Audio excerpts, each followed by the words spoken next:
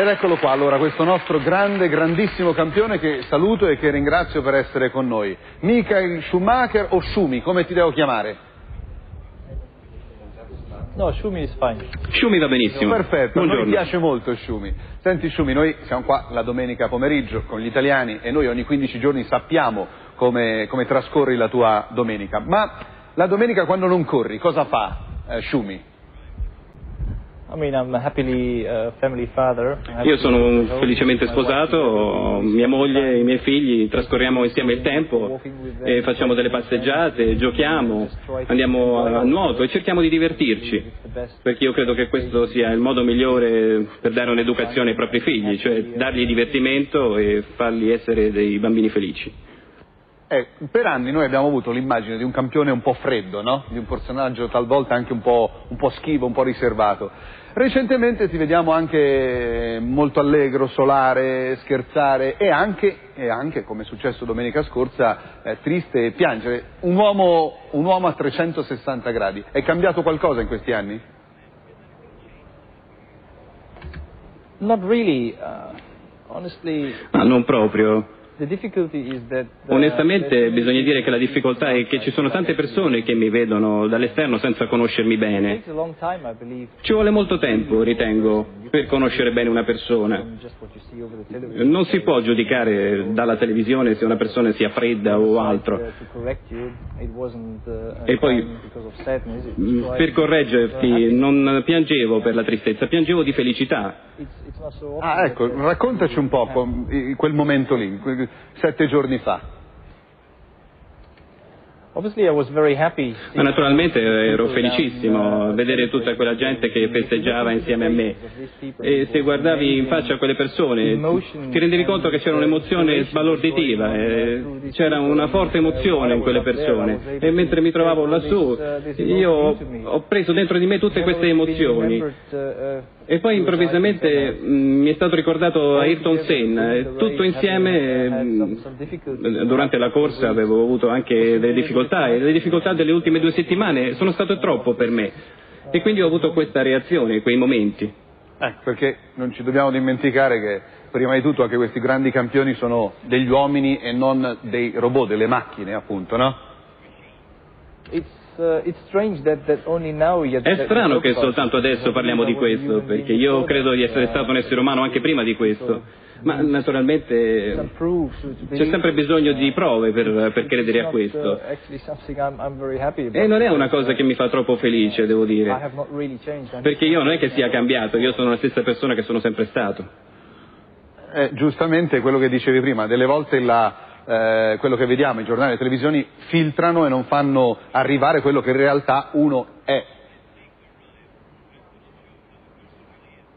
True, yeah. È verissimo, sì, è proprio così. Senti, ma tu l'italiano proprio non lo sai parlare? O qualche parola la conosci? No, I know not only some words. uh, No, non solo qualche but, uh, parola. Ah, proviamo, dai, allora, ah, immagino che quando sei arrivato in Italia tra le prime cose che hai imparato sono le parolacce, ma lasciamo perdere queste. Parliamo di pizza, beh, non soltanto pizza, amore e spaghetti, no? I know a little bit more. No, no, so qualcosa di più. over C'è un altro messaggio che vorrei trasmettere a tutti i miei Eh, tifosi. eh, voglio eh, combattere per eh, queste- questa stagione perché è una grande occasione per, per noi vincere il campionato, ma aspetta dopo perché tre importante eh, gara per noi eh, in, in prossimo mese. Ecco, parliamo proprio del prossimo appuntamento, Shumi. Due punti di distanza e un circuito, come, come lo vedi questa, questa prossima gara? Entriamo nello specifico sportivo. I believe everything is open. Ma io penso che la situazione sia apertissima, come ho cercato di spiegare nel mio italiano, che naturalmente non è perfetto ed è difficile da abbiamo capire.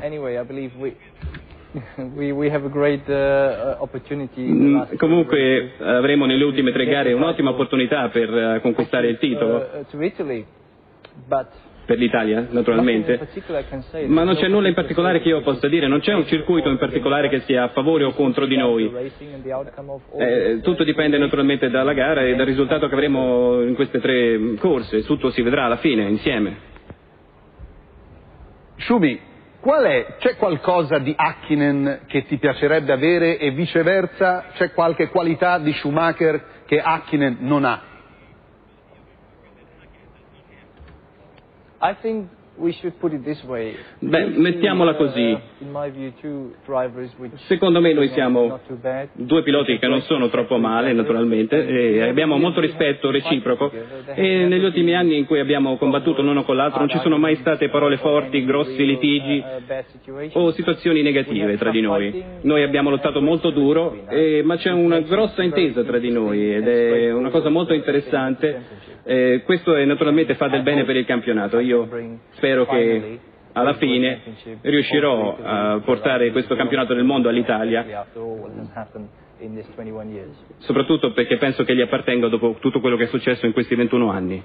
Beh, eh, noi ti ringraziamo molto e ti auguriamo un grande in bocca al lupo. Senti, eh, Shumi, sei scaramantico, hai qualche portafortuna?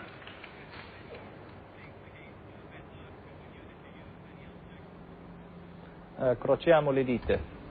ok, allora guarda, le incrocio anch'io e tutti noi qua da Domenica In e ti auguriamo un grandissimo in bocca al lupo a questo grande campione che è il nostro Shumi. Ciao Shumi. Grazie. Eccoli qua, rientriamo.